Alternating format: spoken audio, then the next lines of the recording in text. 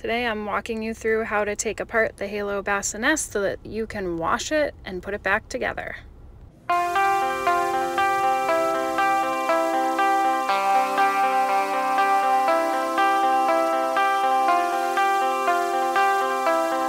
So today I'm showing you how to take this bassinet apart so that you can clean the cloth part. So first you need a Phillips head screwdriver.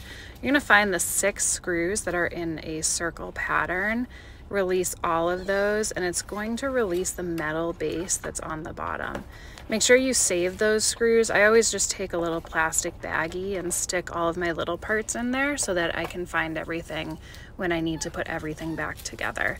So once you've done that, you've taken those six screws out. There are two screws that are on the white plastic parts. You're gonna take those out too because you'll need to take those pieces apart later. So once you have that done, you're gonna flip the bassinet over, take out the three screws that hold the white plastic piece in place, and take that off completely. Again, put that in your little plastic baggie so that you can save it for later.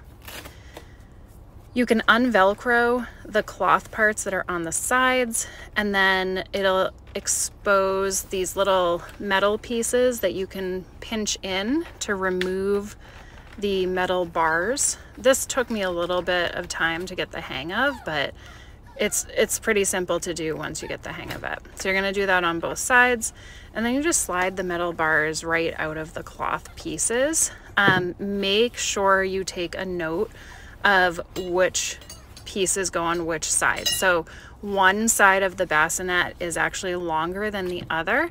And you wanna make sure you keep in mind where that was so that you can put it back easily. So when you flip it over, those little plastic pieces, you just pinch in and they come right out. And then you're able to take out the cardboard piece really easily. You can take this whole cloth piece, throw it in the washing machine, and it comes out beautifully.